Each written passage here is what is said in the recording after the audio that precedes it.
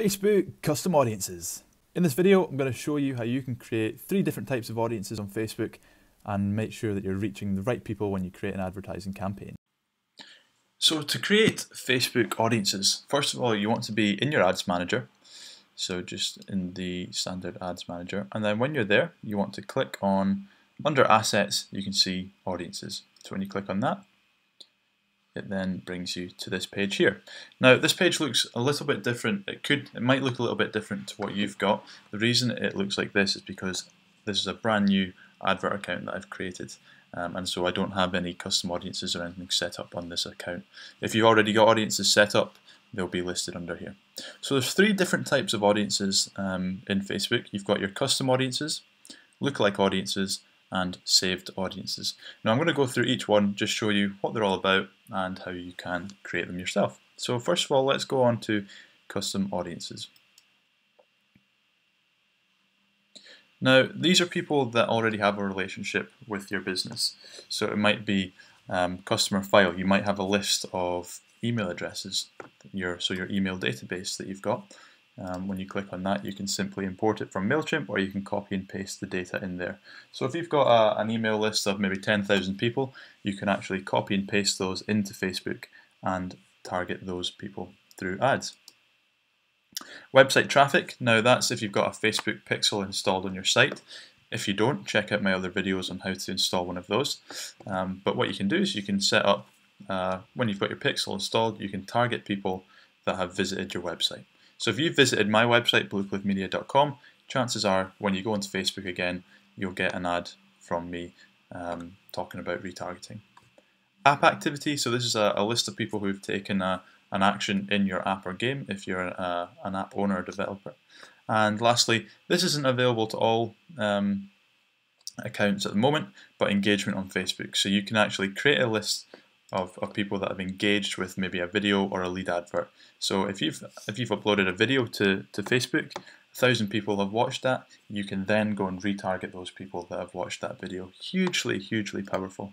So those are custom audiences, and those are if you're sending people, if you're sending an ad to cold traffic, um, maybe to a website or to a video, retargeting people with a custom audience like this is really, really, really powerful. Lookalike audiences are, are audiences that you can create that are similar to audiences that you already have. Now, we spoke about earlier custom audiences. So when you're creating a lookalike audience, in here you choose your source.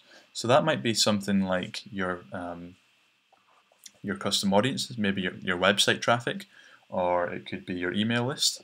Then you choose a country, so depending on, on what country you want to target.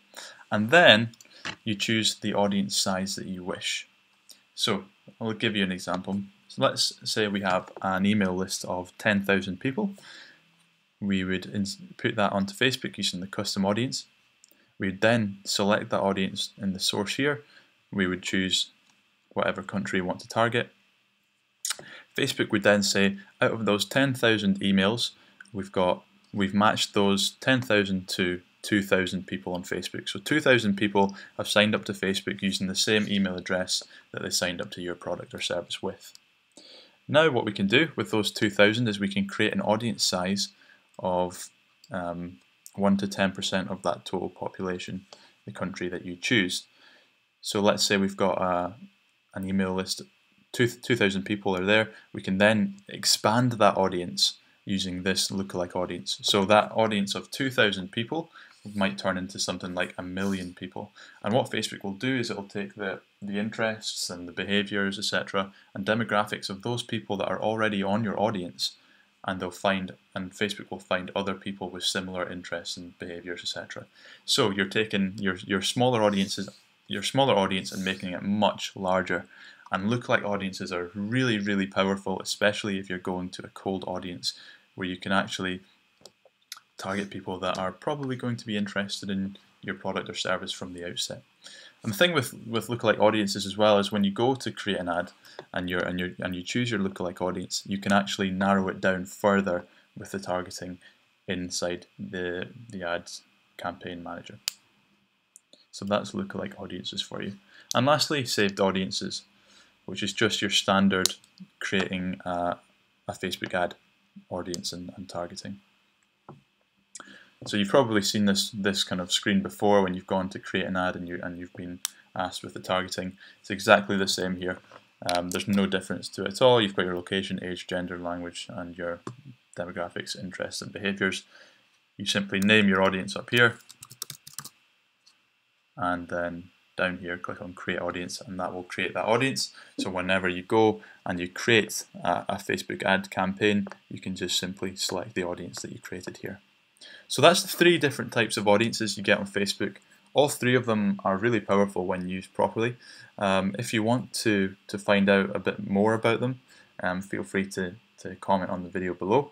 Uh, alternatively, I've got a Facebook advertising blueprint. It's the, the formula that I use um, for my own business and for my clients that helps me to to basically make sales from Facebook ads because as you maybe know when people are on Facebook they're not in buying mode and so you've got to you've got to reach out to them kind of in a careful and clever manner. So that's what that blueprint is for. But thanks very much for for sticking around watching this video.